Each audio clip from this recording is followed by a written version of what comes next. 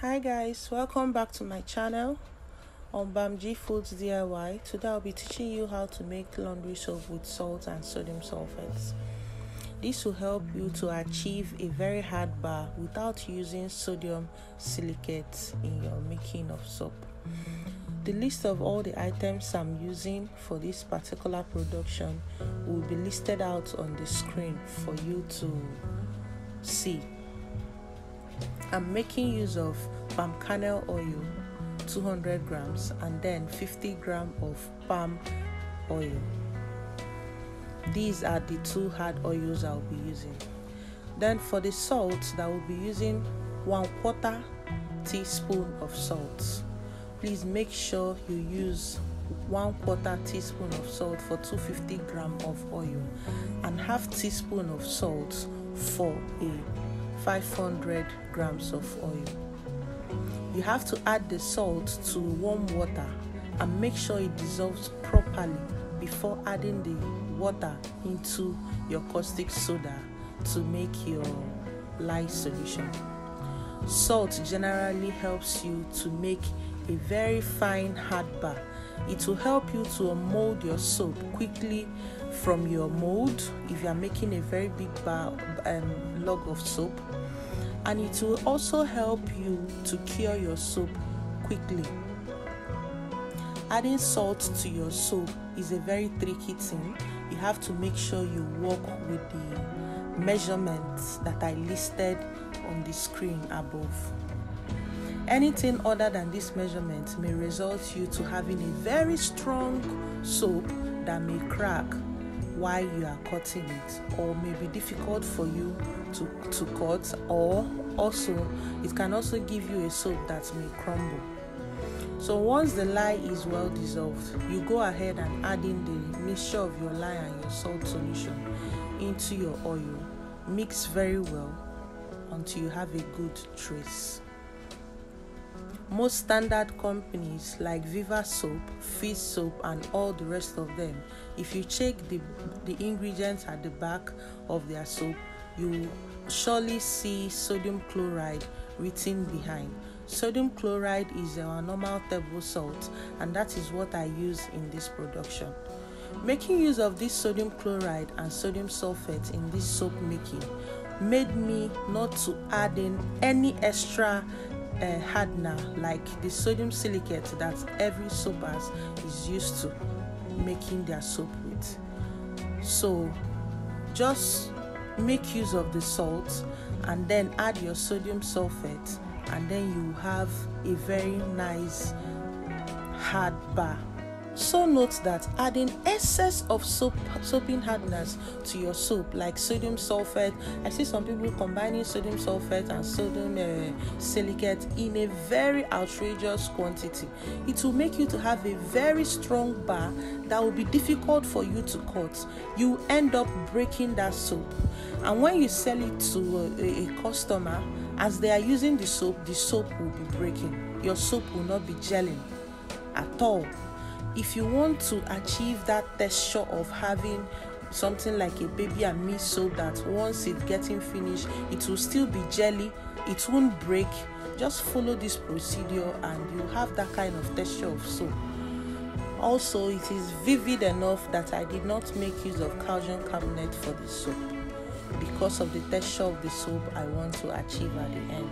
I added a little bit of tint of orange color to this soap to give it a, a, a, a very beautiful kind of color. So once you are done, you just pour your soap into your soaping mold and then allow it to to stay and get hard before you mold.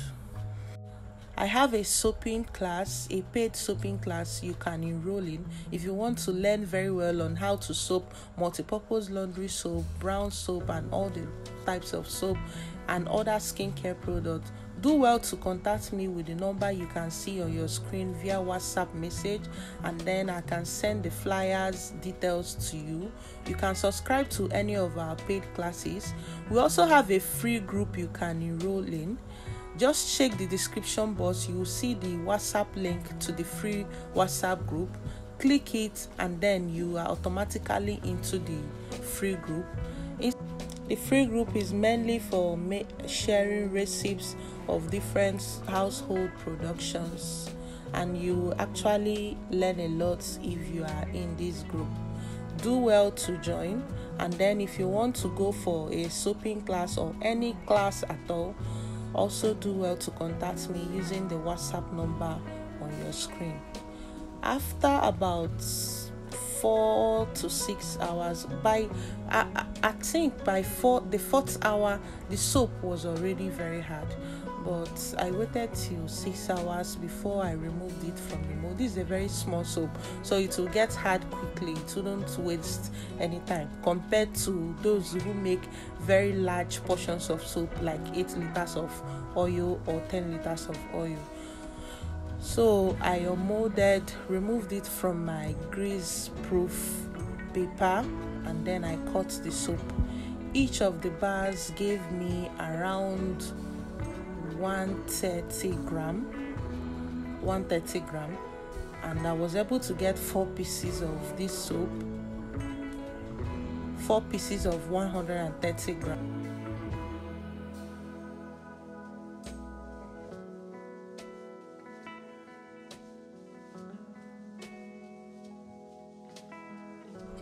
The soap is indeed jelly as I want it to be.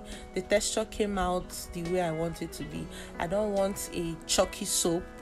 I wanted a very beautiful, soft textured soap.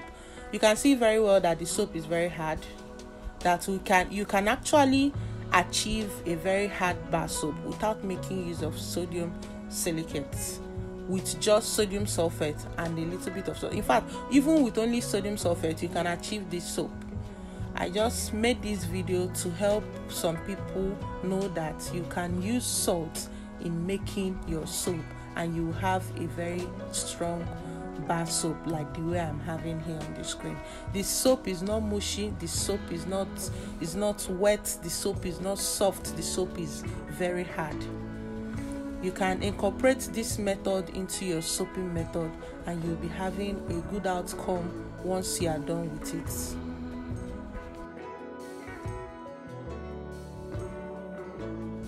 Please if you did enjoy this video please give me a thumbs up like my video subscribe to my channel so that others who are in need of this video will also see it and benefit from what i'm teaching you from this video please like my video and subscribe to my channel. Contact us on the on whatsapp. Join our whatsapp group. Subscribe to any of our paid classes and you actually love to work with me